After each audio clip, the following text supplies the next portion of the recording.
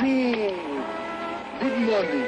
Is le for the first time Dali born with any kind of traumatism. Little blood, symbolic blood. And milk again, milk of today born and some symbolic fish of Mediterranean. This is the blood of Gala and the blood of divine Damu. In order to understand my chosen artwork, you must first understand what Surrealism is. According to the Museum of Modern Art, Surrealism was an artistic, intellectual, and literary movement led by poet Andre Breton from 1924 through World War II. The Surrealists sought to overthrow the oppressive rules of modern society by demolishing its backbone of rational thought. To do so, they attempted to tap into the superior reality of the subconscious mind. Surrealism's goal was to liberate thought, language, and human experience from the oppressive boundaries of rationalism. One of the most prominent figures in the Surrealist movement was Salvador Dali. Dali's major contribution to the Surrealist movement was what he called the paranoid critical method, a mental exercise of accessing the subconscious to enhance artistic creativity. Dali would use this method to create a reality from his dreams and subconscious thoughts, mentally changing reality to what he wanted it to be and not necessarily what it was. Salvador Dali has created numerous surrealist paintings, but his most famous painting is The Persistence of Memory, 1931. This famous painting has been referenced many times throughout pop culture.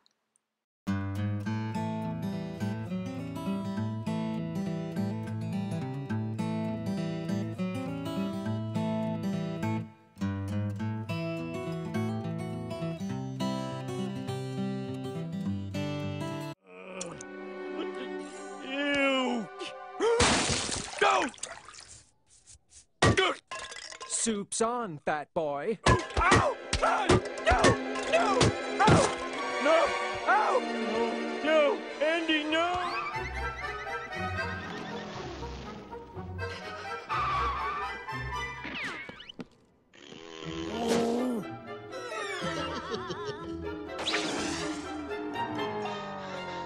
Well, this is surreal. Stop or fire!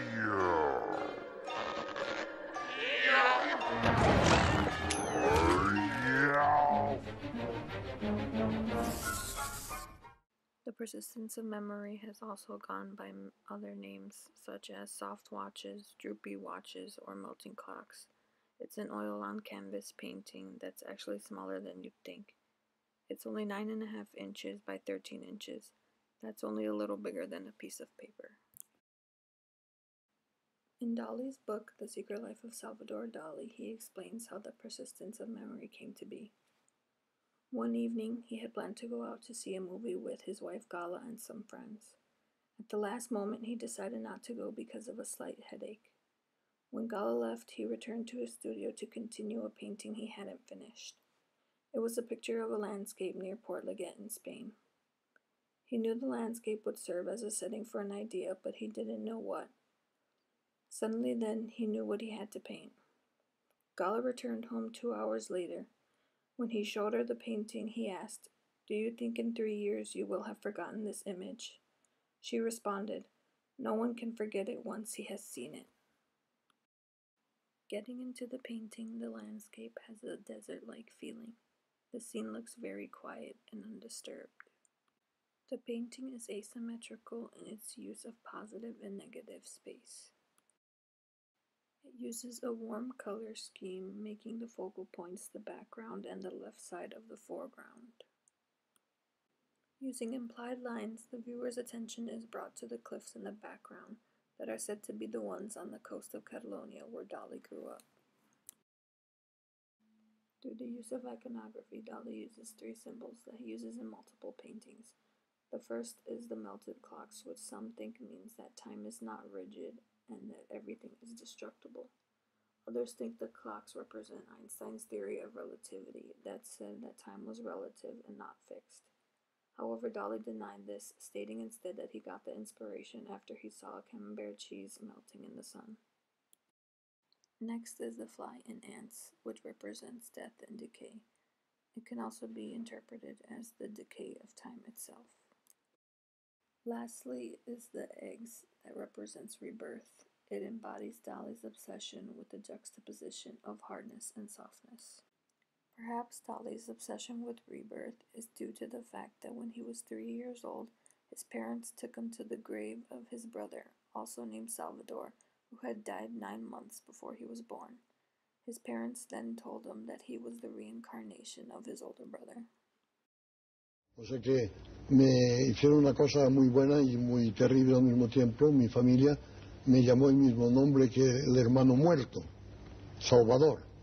Y entonces yo para estaba terrificado, te- te- tenía el terror de ese hermano muerto y para diferenciarme del hermano muerto tenía que cometer todas esas excentricidades para afirmar constantemente que yo no era el otro hermano muerto, que yo era el vivo. This later inspired him to create the painting Portrait of My Dead Brother. In this painting, Dali also uses psychoanalytic theory with a human creature like figure in the foreground. The figure looks like half of a face with the male reproductive organ under the nose. Dali was a firm believer in Sigmund Freud's take on the unconscious mind and how sexual repression can take the form of dreams. Others think that this could be a self portrait with its eye closed as if in a dreamlike state, and with the clocks could represent that in a dream time loses meaning. As war approached in Europe, specifically in Spain, Dali clashed with the members of the Surrealist movement. A trial was held in 1934 where he was expelled from the group because he refused to take a stance against the Spanish militant Francisco Franco. However, some historians believe his expulsion had been driven more by his feud with Surrealist leader Andre Breton. Despite his expulsion, he still participated in international Surrealist exhibitions into the 1940s.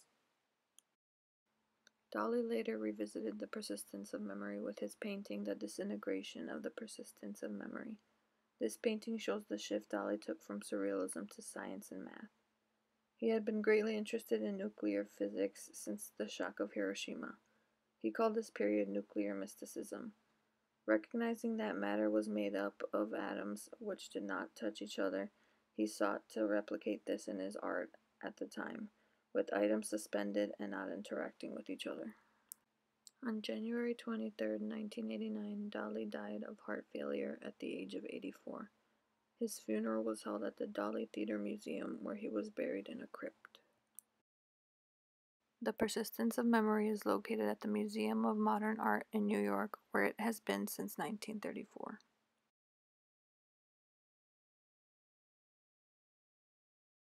For my artwork, I decided to recreate one of my reoccurring dreams. I used pencil and went over it with watercolor paint on plain white paper.